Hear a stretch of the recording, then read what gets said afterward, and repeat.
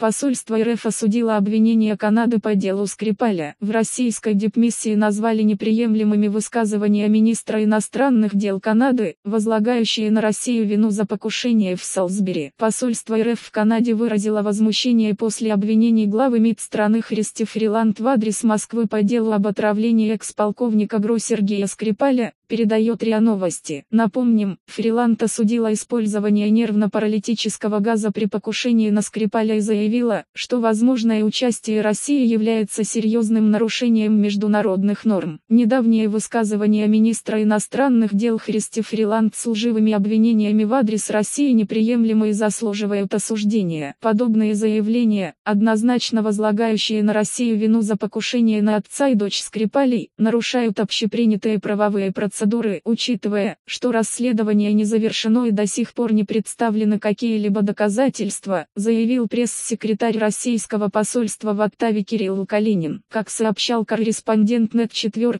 марта Скрипали его дочь были обнаружены без сознания в британском Салсбери и находятся в больнице в критическом состоянии. Премьер-министр Великобритании Тереза Мэй сообщила, что они были отравлены нервно-паралитическим веществом типа «Новичок», который разрабатывался в СССР СССР и впоследствии в России. ЕС об отравлении Скрипаля. Вероятно, Россия. Новости от корреспондент.нет в Telegram. Подписывайтесь на наш канал и https По материалам сайта Newsgro.com.